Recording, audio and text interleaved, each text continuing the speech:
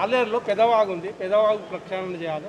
అదేవిధంగా పెదవాగులో ఇసుక తీసుకోవడం వల్ల అటుపక్క ఇటుపక్క రైతులు బాగా డ్యామేజ్ అవుతారు బోర్ నీళ్ళు మొత్తం పడిపోతున్నాయి భూగర్భ అదొకటి క్రమబద్ధీకరణ కోసం రైతుల పక్షాన మేము మీడియా తరఫున మిమ్మల్ని అడుగుతాం ఓకే. చాలా సంతోషం. జాన్సర్ గారు అడిగారు. మంచి క్వశ్చన్ అడిగారు. నేను చెప్పుదాం అనుకున్నాను ఇవాళ ఆలేరులో ముప్పై లక్షల బస్తాలు నేను చెప్పేది ముప్పై ల ఆలేరు నియోజకవర్గంలో గురించి చెప్తాను. ఆలేరు నియోజకవర్గంలో ఇలా ముప్పై లక్షల ధాన్యం ఉత్పత్తి అయింది. గత అరవై సంవత్సరాలుగా ఒక పది లక్షల లోపల ధాన్యం అయ్యేది. ఎన్నడూ కూడా రెండు నుంచి పది వరకు మ్యాక్సిమం అయితే అయింది. ఈరోజు ముప్పై లక్షల బస్తాల ధాన్యం ఉత్పత్తి అయిందంటే మన శాసనసభ్యులు వచ్చిన తర్వాత కేసీఆర్ ప్రతి వాగు మీద కూడా చెక్ డ్యాములు నిర్మించాలనేటువంటి ఏదైతే ఆదేశాలు ఇచ్చారో ఆ ఆదేశాలు ముఖ్యమంత్రి గారి ఆదేశాల ప్రకారం మన నాలుగు వాగులు ఉన్నాయి మన నియోజకవర్గం. షామిరిపేట కావచ్చు ఆలేరు వాగు కావచ్చు అదేవిధంగా పెద్ద కందుకూరు వాగు కావచ్చు ఇంకోటి రాయగిరి దగ్గర ఉన్న వాగు కావచ్చు. ఈ నాలుగు వాగుల మీద కూడా మరి చెక్ డ్యాములు కట్టారు. ఈరోజు మన ఏదైతే ఆలేరు వాగు ఉంటాం మనం దీన్ని ఏదైతే ఆలేరు వాగు మీద దాదాపు ఎనిమిది చెక్ డ్యాములు కట్టడం జరిగింది. ఎనిమిది చెక్ డ్యాములు కట్టడం వలన నీటి ప్రెజర్తోని మొన్న వచ్చిన వానలకు నీటి ప్రెజర్తోని ఆ చెక్ డ్యాములు నిండుకుంటూ కొంత ప్రక్షాళన జరిగింది. అది మీకు కూడా తెలుసు.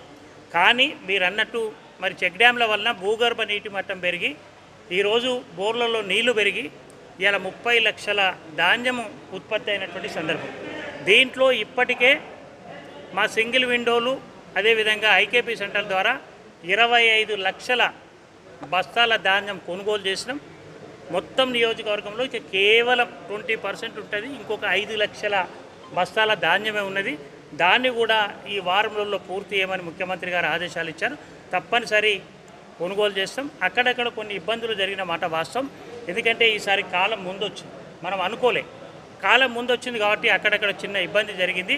ఇది ఆలే నియోజకవర్గంలో చరిత్రలో కేసీఆర్ గారు రైతాంగానికి ఇస్తున్నటువంటి మద్దతే అనుకోండి పక్షపాతి అనుకోండి పక్షపాతం అనుకోండి దానివల్ల ఇలా ఆలయ నియోజకవర్గంలో కూడా మరి ముప్పై లక్షల ధాన్యం ఉత్పత్తి అయిందంటే అది మామూలు విషయం కాదని చెప్పి సందర్భంగా చెప్పక తప్పదు.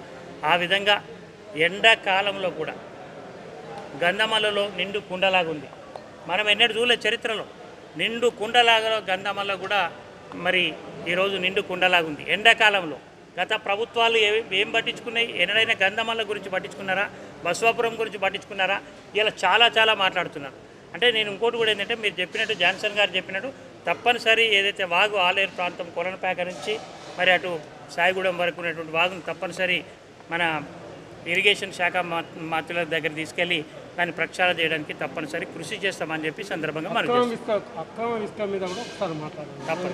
Ground ground water